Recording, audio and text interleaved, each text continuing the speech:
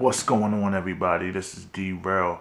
This is Grown Man Gaming's. If you can, like, subscribe, share, and if you like to look at different video gaming content, this is going to be something new, something we introducing to the brand. If uh, if you haven't watched Rel's Rants Reloaded, that's me talking about random subjects. But this right here is Grown Men's Gaming, where we're going to be talking about, you know, a lot of video game stuff nerdy stuff, sci-fi, this, that, and the third. So if you can, like, subscribe, share. Um, I'm gonna have a link in the description to my Twitch. It's gonna be grown man underscore grown men's underscore uh gaming. It'll be in the description. You'll, you, will you will figure it out. I'll have a link there. What we're going to talk about today is this big bad boy right here. This right here is a Nintendo Switch very good console, very kid friendly.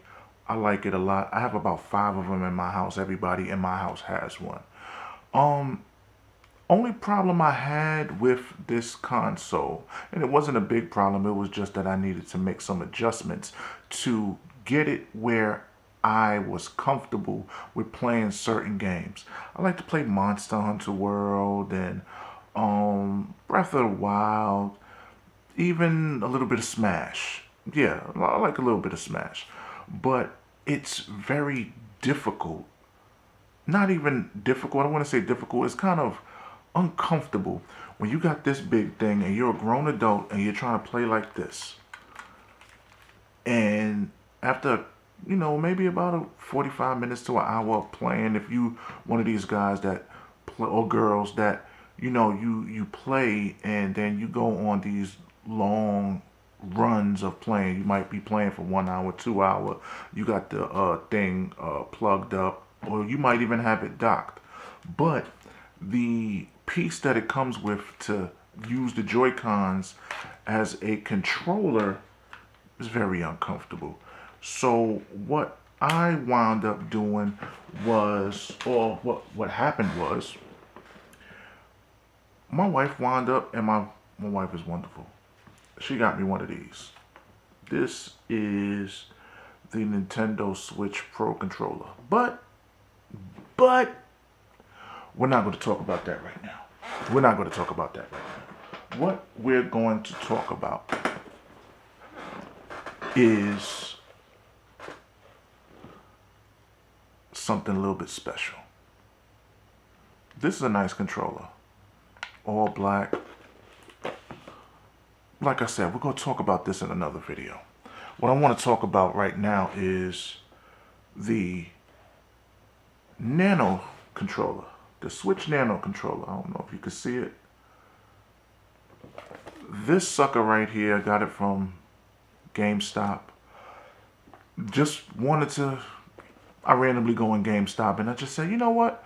Let me see if I can find something. I have some extra money. I'm, I'm going to buy something and I seen this nano controller and I opened it up and it's kind of a sort of a unboxing and opinion video. It's all right.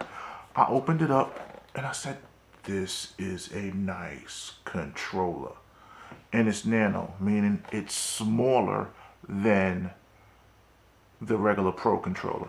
I have about four controllers. And big shout out to the people in GameStop because before I got these uh, two Pro controllers, because I would consider this a Pro controller because it's wireless. Um, before I got this, I went to GameStop. Love GameStop. I wish they would do better as far as being a business and they cut not the customer service, just just how they run they run their stuff. But I went there, probably spent $25 on two wired controllers.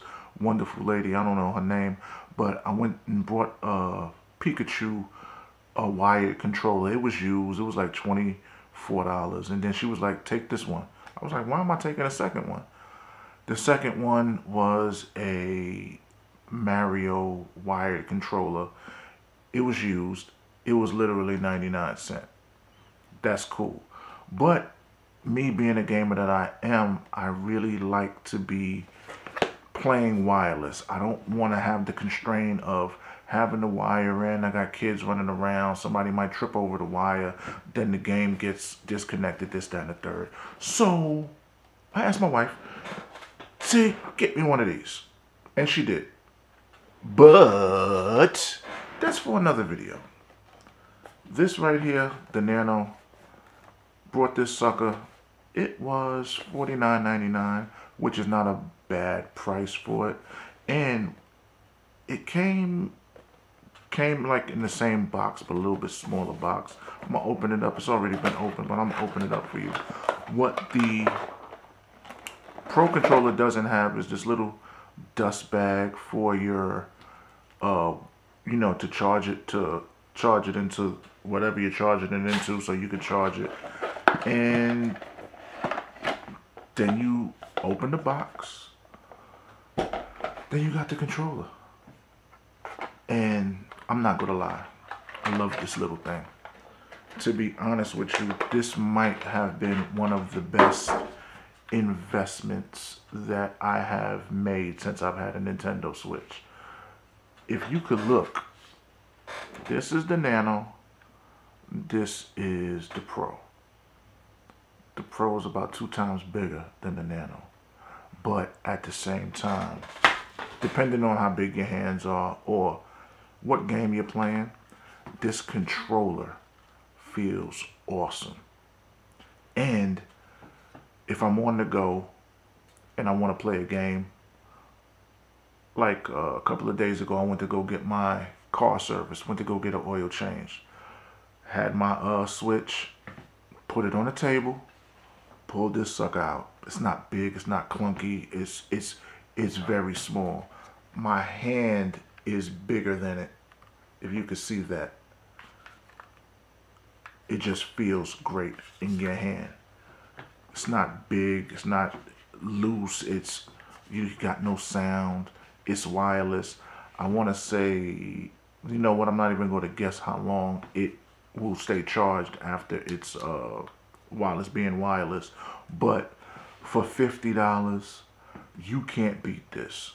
I didn't get this at Walmart and uh, I was I've been scheming at Walmart to see, you know, I might want to get a new controller. I go to Walmart because it's closer than GameStop, but I said for 50 bucks, and this is a dope color because they had this in black, but I'm like I already got a black controller. Let me get the uh, you know, the blue and red to go with the blue and red. And mind you, this is a licensed Nintendo Switch controller. This is not something off of Amazon. So it's the same colors, the same finish, this, that, and the third.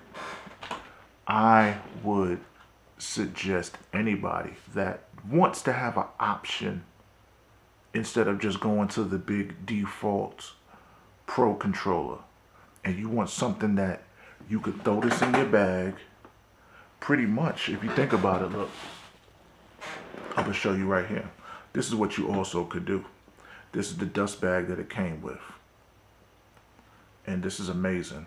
It's nothing, not no new technology or whatever, but we're just going to try something while we're making the video. And this is the wire. Put the wire to the side. If you really wanted to, if you really wanted to, you could put this, let's see if it works, in here. Let's see if it works. Wow, look at that. Look at that. And then you could just put this in your bag.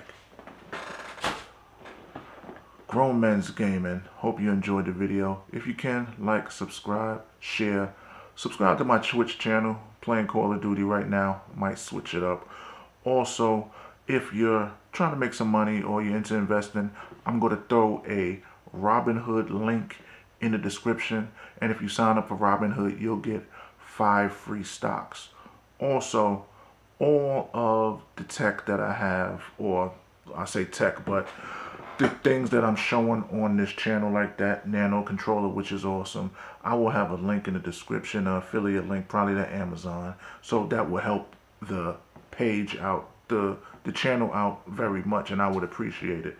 But like I said I would definitely buy that nano controller. It's 50 bucks you really can't beat that what we're going to make a color, what we're going to do next what we're going to do next, the next video, we're going to talk about the big unit, the big boy, the nano controller. But we're going to save that. We're going to save that for another time. Like, subscribe, go on the channel, look at some of the older videos, look at the Twitch videos, Have some fun. Enjoy yourself. Peace.